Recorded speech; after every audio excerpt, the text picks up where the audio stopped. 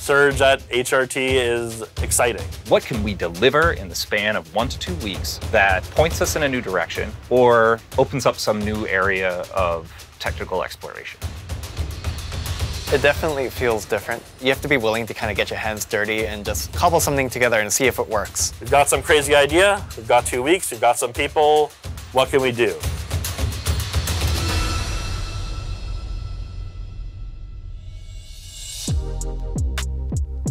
Surge is an annual HRT tradition where developers get together into new teams and try out experimental ideas. It's the test tube of, of trading ideas for, for HRT. Basically, it's a hackathon. It's, it's an opportunity for people on these teams to take time out of their kind of day-to-day, uh, everyday rhythms and work with people that they don't normally work with uh, on a project that they wouldn't normally work on. So you might have core working with algo, you might have hardware people working with software people, people in Singapore working with people in New York. You get to sort of put down what you were doing before and re-energize your creative juices from a technical perspective. Every year, we have two surges at HRT, Core Surge and Algo Surge. Core Surge takes on big engineering projects that make our global systems faster, more efficient, and easier to maintain. Algo Surge is primarily focused on trying out new research ideas, developing new trading strategies, and generally increasing P&L.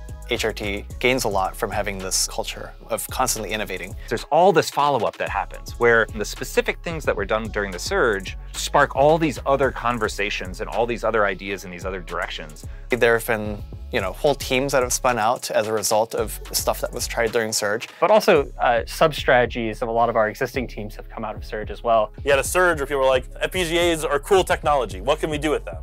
And then you know, a few years later, there's a team at HRT working on FPGAs because it's a big part of our infrastructure. The idea behind Surge is to really mix things up, do things that you wouldn't normally do. So you come to a different part of the building, you sit in somewhere that's totally unfamiliar to you. It all comes down to the collaboration. Uh, there's a big reinvigoration aspect to Surge, you know, as people uh, work on things that are outside their comfort zone but in their wheelhouse. You get that developer who's never worked with hardware working on it, and maybe they bring some new idea. A lot of the best ideas at HRT come from the collaboration, being able to take something from one area and apply it elsewhere. And Surge is just the pinnacle of that. Surge uh, is is just as much a cultural thing as it is, uh, you know, a work thing. We try to lean real hard into the kind of campy surge spirit. We put together like posters or the, the swag, like the things that you wear. We have fun happy hours and events during the surge to keep spirits high. And it, it's just like this really silly, fun thing. Like there would be some live trading issue and people would like, go away, I'm surging. And then we'd all laugh, ha ha, and then we'd actually go fix the live trading issue, of course. But like, it's a good time for people to work with somebody they didn't know before, to visit an office they hadn't visited before.